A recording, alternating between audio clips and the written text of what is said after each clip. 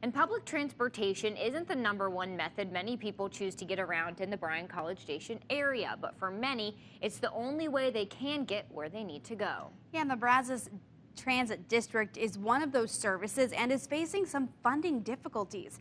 KAGS HD News reporter Chris Costa shows us how riders feel about the current system and what they think needs to be done to get it fixed.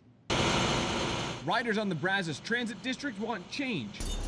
Not money, but more buses. Jeremy Freeman doesn't have a car, so he relies on the bus to get around town. I just think this is essential uh, mode of transportation for a lot of people.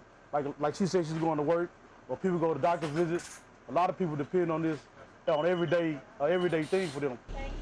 With about 2,000 buses serving Bryan and College Station, an average trip can take more than 90 minutes each way.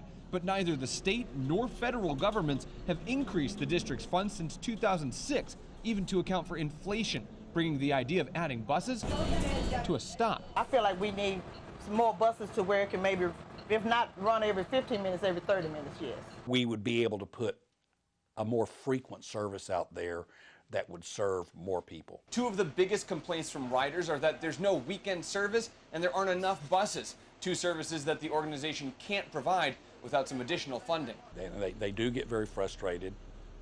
And when you explain to them that we're sorry, we only have a certain amount of money and we can only do a certain amount with what we do, that that that just really never satisfies anybody. The lack of funds also prevents the district from replacing old buses or building new passenger shelters. They're lacking on a lot of things, eh, things that they need. They definitely need more shelters. That's definitely in the whole city. I've only seen three. The bright side: the district could see more state funding if the Texas House and Senate approve TxDOT's new budget in 2015.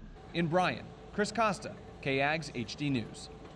TxDOT is partially responsible for funding the district and has asked the state government to add $15 million to their budget over the next two years.